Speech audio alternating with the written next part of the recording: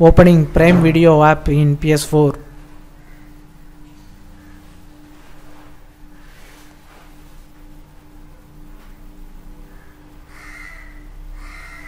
Problem occurred. We are experiencing a temporary problem. Please try again later. Error code 0.28.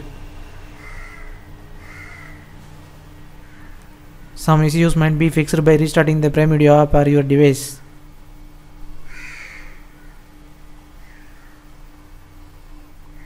Also showing error code 0.6.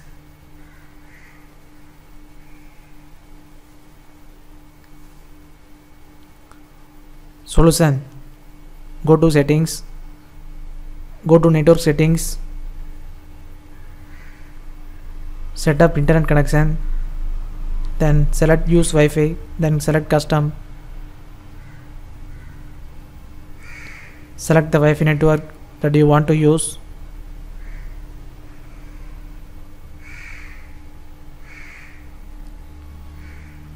Select manual. Here check the IP address and default gateway. IP address would not be same as the def- default default gateway. Here I am having same address for both subnet mask and IP address. So change the IP address. IP address and default gateway should not be same. So change the IP address. Click next. Select automatic MTU settings. Do not use proxy server. Internet settings updated. Now test internet connection. Now internet connection is successful.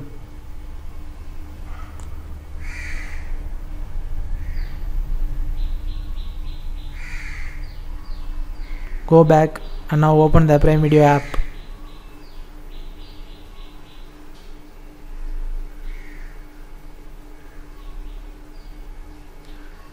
Update later. Now prime video is opening without showing the error. Subscribe